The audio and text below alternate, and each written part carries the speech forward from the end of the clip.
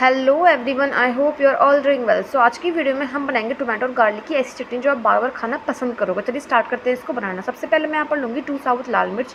उसके बाद मैं इसके अंदर ऐड करूँगी टोमेटोज़ और उसके अंदर ऐड करूँगी सॉल्ट अब इसे अच्छे से बॉयल करने के बाद इसका एक फ़ाइन पेस्ट ग्राइंडर जार में ग्राइंड करके बना लेंगे। इसको अच्छे से बॉयल होने के बाद उसके बाद हम लेंगे एक पैन तड़का स्टैंड जो भी आप लेना चाहते हो, उसमें ले सकते हो। उसके बाद मैं इसके अंदर ऐड करूँगी फोर टेबल स्पून ऑफ़ देसी घी।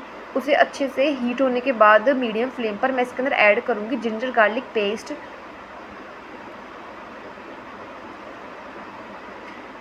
एंड इसे अच्छे से पकने देंगे। इसका थोड़ा सा कच्चापन निकालना है। हमें इसको जलाना नहीं है। हमें वैसे इसको एक मिनट के लिए मीडियम फ्लेम पर ऐसे ही पकने देना है, ताकि इसका थोड़ा सा कच्चापन दूर हो जाए।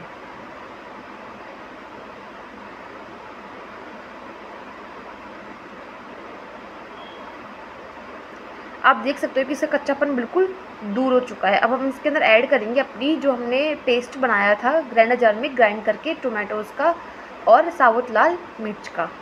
अब इसको कर दूँगी मैं अच्छे से मिक्स अपनी फ्लेम को मीडियम ही रखना है।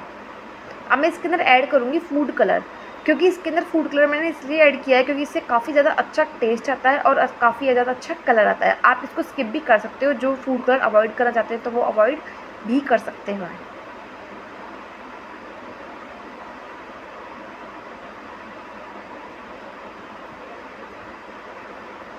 अब मैं इसके अंदर ऐड करूँगी one tablespoon of salt and one tablespoon of sugar sugar और सॉल्ट हमने इसलिए इसके अंदर ऐड किया है ताकि इसके टेस्ट बैलेंस हो जाए काफ़ी अच्छे से।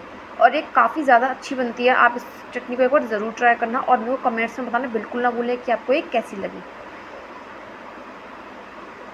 अब इसको पाँच मिनट के लिए ऐसे ही बनने देंगे तो हमारी चटनी बिल्कुल रेडी आप देख सकते हो। Thanks for watching my video